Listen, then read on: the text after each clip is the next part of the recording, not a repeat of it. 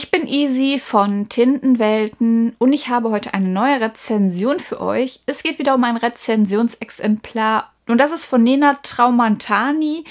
Ich hoffe, ich spreche den Namen so richtig aus. Fly and Forget heißt das gute Stück. Es ist der erste Teil einer Trilogie und hat 426 Seiten, hat vier Sterne von mir bekommen. Das Buch ist abwechselnd aus der Perspektive von Liv und von Noah geschrieben.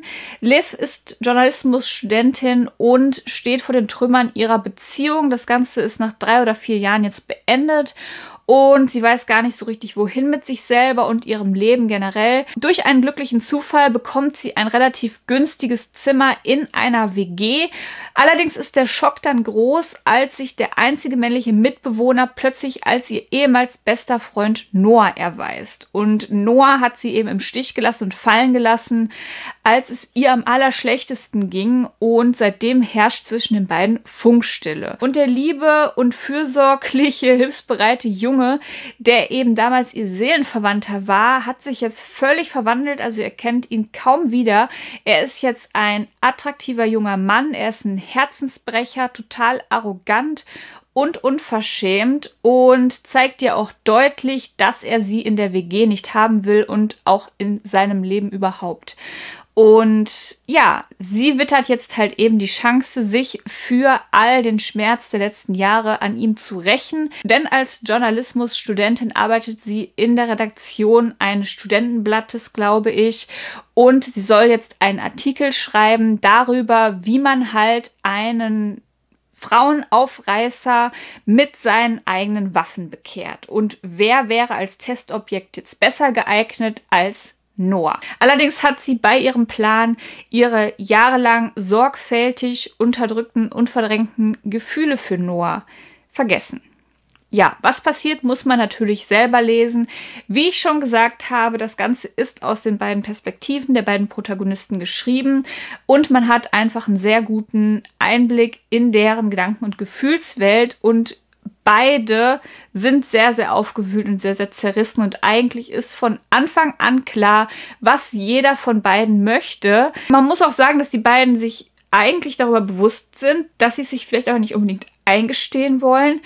Und generell sind dort halt auch einfach einige Hindernisse. Ich finde beide super sympathisch. Ich konnte mich in beide sehr gut reinversetzen. Also diese Emotionen sind auf jeden Fall sehr, sehr gut rübergekommen. Allerdings muss ich sagen, ich hätte beide einfach regelmäßig sehr gerne einmal durchgeschüttelt, denn so viele Probleme hätten sich einfach so einfach lösen lassen. Natürlich hätten wir dann dieses tolle Buch nicht bekommen und keine spannende Geschichte, das ist natürlich klar. Aber es war einfach so ein, ja, ständiges Hin und Her, ein wenig unnötiges Rumgezicke und Konflikte waren da, die eigentlich nicht hätten da sein müssen.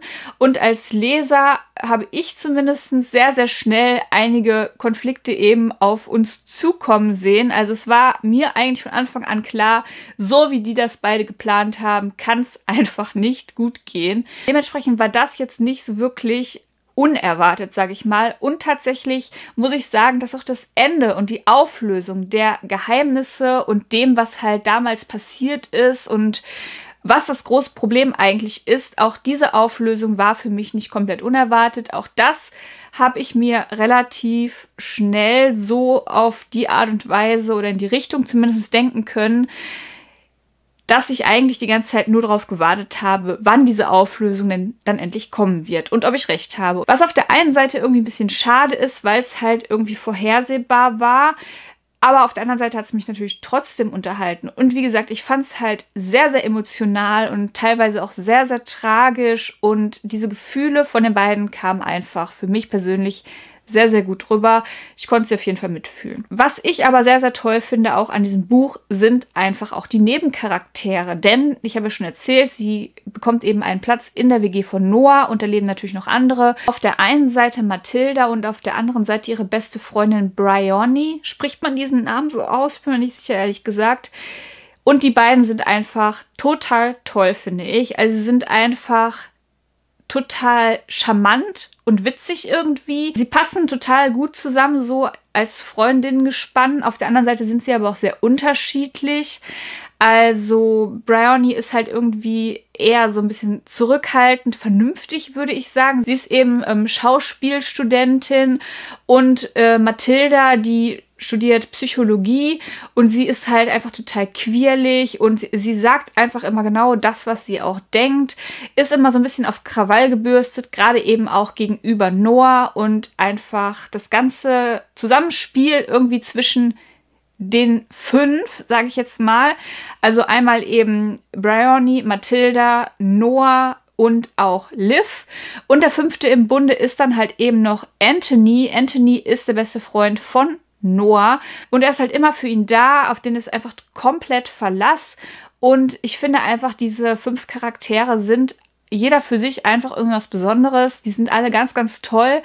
Und über zwei davon hat man jetzt halt eben schon richtig viel erfahren, eben über Liv und um Noah.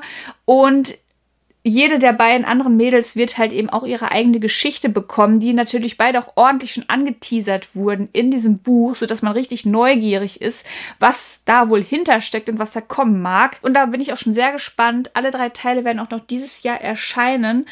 Und da freue ich mich sehr. Natürlich wird auch Anthony in diesen Büchern noch eine Rolle spielen und bestimmt wird man auch noch erfahren, wie es dann mit Liv und auch mit Noah weitergeht. Also mir hat es auf jeden Fall sehr gut gefallen. Ich mag einfach solche Geschichten immer, wo viel Drama dann noch ist, irgendwie auch Herzschmerz und das kommt hier auf jeden Fall nicht zu kurz, würde ich mal sagen. Auch wenn das Drama teilweise unnötig war, aber auch das ist ja in solchen Büchern manchmal so und viel Drama und viel Herzschmerz, gerade eben was den Teil aus der Vergangenheit eben angeht, der ist halt eben auch nicht unbegründet. Also es ist halt schon sehr tragisch. Dementsprechend hat es mir echt gut gefallen. Ich freue mich auf die nächsten Teile.